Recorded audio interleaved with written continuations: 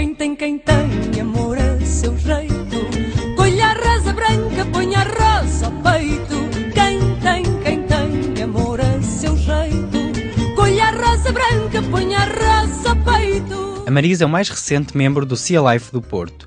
Os seus tratadores escolheram esse nome em homenagem à fadista Marisa, pois, como ela representa a cultura portuguesa, a tartaruga representa a vida marítima.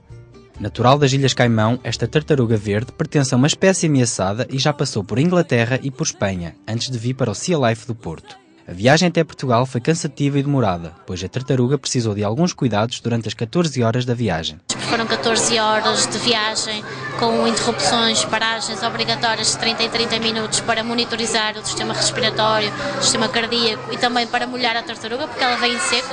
Apesar de ser uma tartaruga marinha, respira pelos pulmões e, portanto, teve que vir em seco. Portanto, foi uma viagem longa, mas felizmente correu bem, ela chegou bem, está bem. E agora vamos ter três dias de observação permanente para perceber se realmente ela está a fazer uma boa adaptação ao novo habitat. A Marisa está associada a uma campanha de sensibilização para a proteção de uma espécie que está em vias de extinção. É uma espécie considerada ameaçada pelo IUCN e também pelo CITES, uh, mas uh, uh, a espécie, portanto a Marisa, a tartaruga verde, vai fazer uma campanha SOS, ou traz uma, associada a uma campanha SOS, de uma espécie que essa sim está em vias de extinção e que são as tartarugas loggerhead. A adaptação da Marisa ao seu novo lar decorreu sem problemas, pois um dos maiores receios dos tratadores era o stress acumulado devido à duração da viagem. A sua alimentação é maioritariamente vegetariana. Ela, como disse, é essencialmente vegetariana. Nós usamos uh, ou gel ou ração e aí sim tem todos os nutrientes, os macro e os micro que os animais necessitam.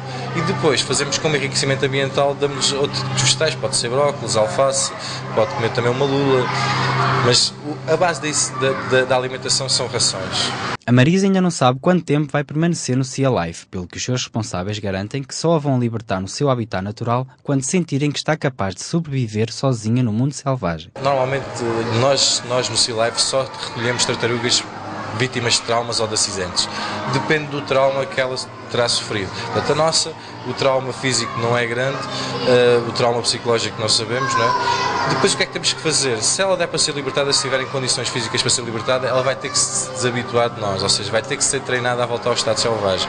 E depois, sim, se ela estiver adaptada a voltar ao estado selvagem, é caso não, não esteja em condições, não vamos libertá-la, porque vamos estar a sentenciá-la a uma vida dura. A Marisa nos próximos meses vai ser o ponto de atração do Sea Life, pois era um dos animais mais pedidos desde o início e também pela mensagem ambiental que traz. Consideramos que a tartaruga é um dos animais mais pedidos pelos nossos visitantes desde o início, desde a abertura. Uh, e portanto a Marisa será certamente o centro das atenções uh, nos próximos meses, principalmente agora no verão, até porque lá está, como lhe dizia, tem uma mensagem especial de conservação dos oceanos, que é particularmente pertinente agora que estamos a iniciar a época balnear em que vamos utilizar as praias massivamente temos que ter um cuidado redobrado. Este cuidado redobrado é importantíssimo, pois o ser humano contribui inconscientemente para a morte deste tipo de tartarugas. A maior causa de, de, de morte das tartarugas no oceano é porque são asfixiadas com sacos plásticos que estão à deriva. E portanto, isso é uma mensagem que eu deixo para todos os que vão frequentar as praias este ano. Não deixem lixo. A Marisa está desde hoje no Sea Life do Porto e tem sido a delícia dos mais novos. Esta tartaruga verde, com 7 anos de idade, 85 cm de comprimento e 65 kg, promete nos próximos meses atrair muitos visitantes. Quem tem, quem tem amor a seu jeito, colha a rosa branca, põe a